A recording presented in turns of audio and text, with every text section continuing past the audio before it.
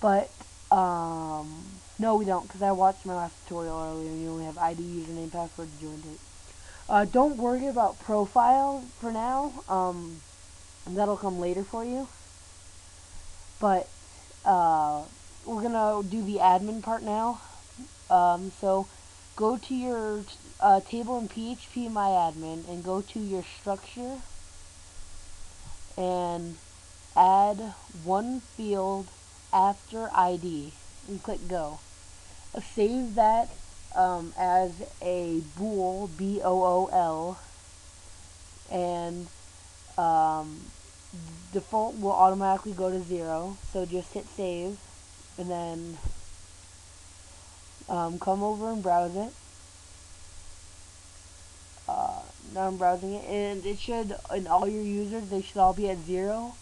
Just edit the users you want to have um, admin for, and make them one.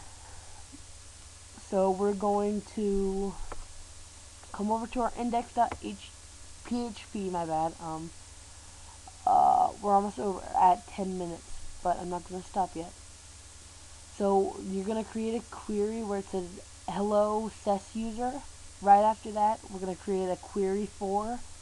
So just type in query for, dollar sign query for equals MySQL underscore query and then select all from users where username equals SES user. And then I'm just going to change this really quick.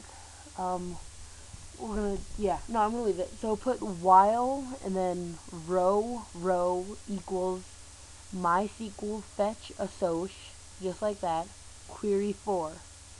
And then in brackets, have admin equals row, row, admin. And then yeah. So basically copy it exactly like this. If you guys cannot read it or anything let me know and I'll paste the code in the sidebar or bottom bar wherever if this is an HD or whatever and then we'll have if admin meaning if they are an admin admin equals 1 it'll echo, by the way, you are an administrator, which is a good thing. You're an administrator. Um, so we're also going to create a page for that. Uh, we're just going to create it really quick. I don't really want to go over 10 minutes, though. Um, we'll just create it really quick. Uh, create a new PHP file. Um, say in, uh, require uh, functions functions.php and then we'll do if log in and then else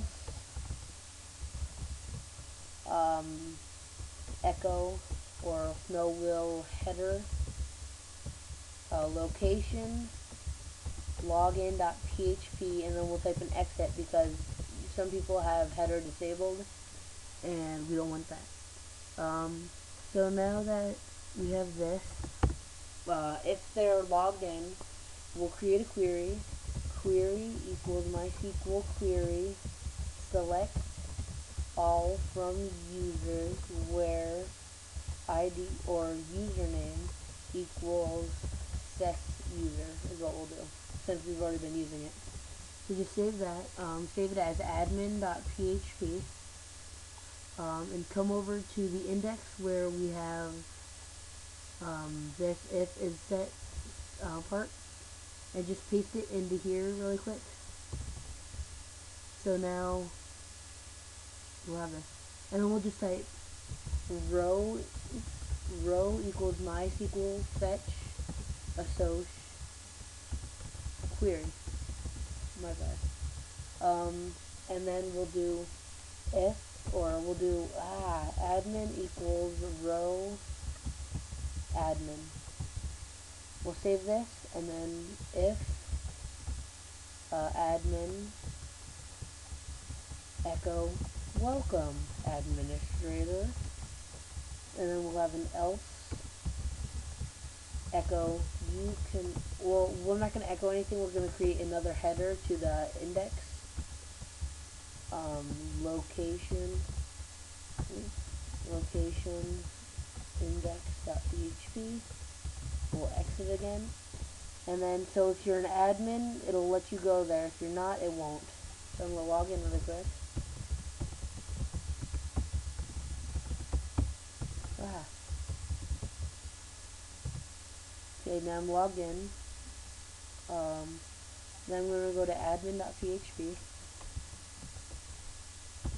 Ah. Okay, it says, welcome administrator. Now I'm going to take my admin away. I'm going to make that zero. I'm going to hit go and I'm going to refresh.